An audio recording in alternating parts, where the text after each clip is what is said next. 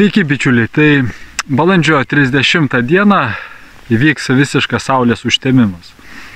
Na, pas mus Lietuvoje jis nebus e, matomas, nes prasidės vėlai, tai yra vakare be 15.10, o baigsis jau po vidurnakčio. Pats užtemimas jisai bus matomas Pietų Amerikoje ir užtemimo pikas bus Lietuvos laiku 23.42. Na ką vertėtų apskritai žinoti, tai užtemimai visada susiję su tam tikrais pokyčiais, kuriuos mes turėtumėm atlikti savo gyvenime. Na ir kokie tai pokyčiai irgi priklauso nuo to, e, kokiam zodiako ženkle įvyksta pats užtemimas. E, jeigu ten žvelgti individualiai, tai pagal tai mes irgi galim suprasti, kokie pokyčiai bus mūsų asmeniniam gyvenime.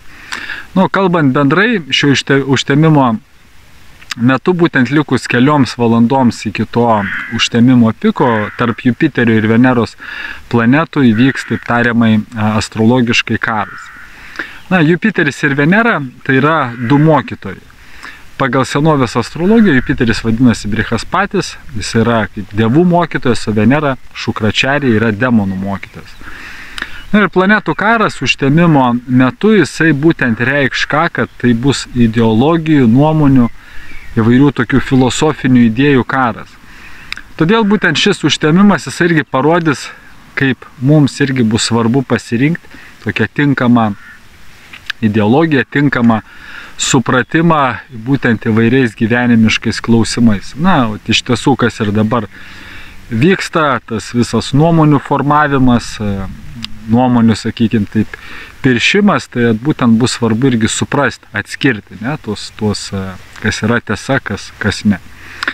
Kitas dalykas tai yra užtemimo metu Saulė jinai bus pačiam stipriausiam savo ženkle. Ir tai yra būtent per 18 metų, per pastaruosius 18 metų toks pirmas dalykas ir tai reiškia, kad Saulė bus labai stipri ir tuo pačiu jinai negatyvi. Ir kadangi bet koks užtemimas tai yra pokyčių laikotarpis, ir šis Saulės užtemimas iš tikrųjų gali sukurti tokius stiprius ir ryškius fizinius pokyčius ir, ir pasaulį, ir kiekvieno mūsų asmeniniam gyvenimui.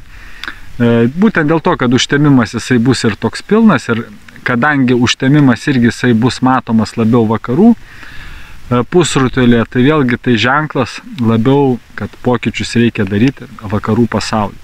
Ir jeigu žiūrėsim Lietuvoje, ne, Lietuvos horoskopę, tai e, užtemimas vyks septintam horoskopo name, kas reiškia būtent santykiai su kitom šalim, su partneriais ir su priešininkais. Tai vėlgi, kad na, Lietuvai kaip valstybė ir ypatingai tiem žmonėm, kuriems patikėtos visos šios pareigos tvarkyti reikalus, nes atsakomybė guls jau ant jų pečių, reiškia tuos santykius palaikyti būtent kuo tinkamiau, kad kuo mažiau nukentėtų žmonės.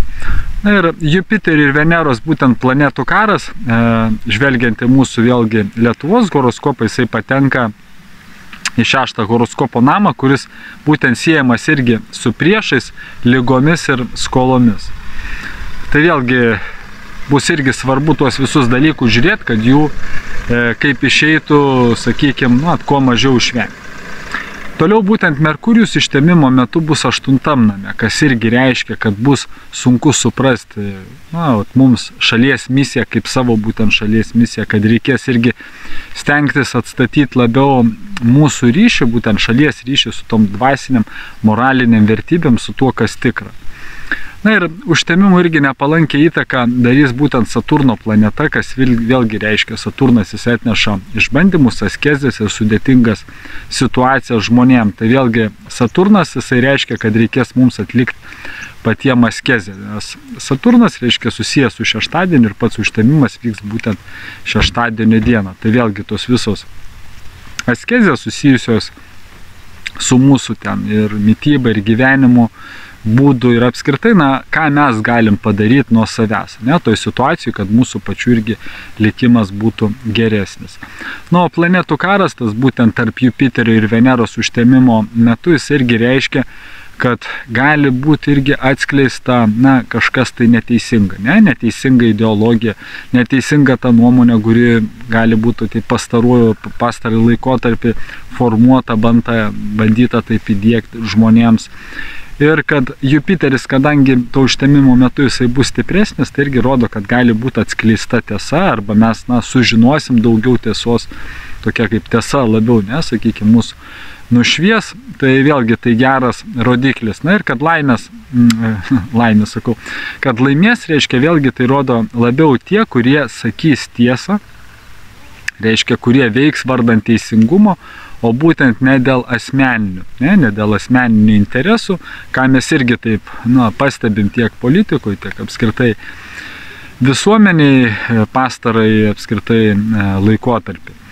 Na ir trys dienos prieš ir po užtemimo piko e, bus apskritai toks nelabai palankus metas. Na, ypatingai tai liečia vaikų pradėjimui, santokai, tai šių dalykų būtų geriau trys dienos iki užtemimo ir po užtemimo to dalyko nedaryti. Na ir siekdami sušvelninti neigiamų užtemimo poveikį, vėlgi kiekvienam iš mūsų, ką mes galim nuo savęs padaryti tą dieną, tai stenkimės irgi praleisti kažkaip tai prasminkai, galbūt daugiau laiko skirti meditacijai, maldai, kažkaip tai dvasiniai praktikai, saviugdai, ką jūs jau galit padaryti. Tai va, būtų tokie pastebėjimai, tai ką, dėkoju, kad klausėt, būkit laimingi.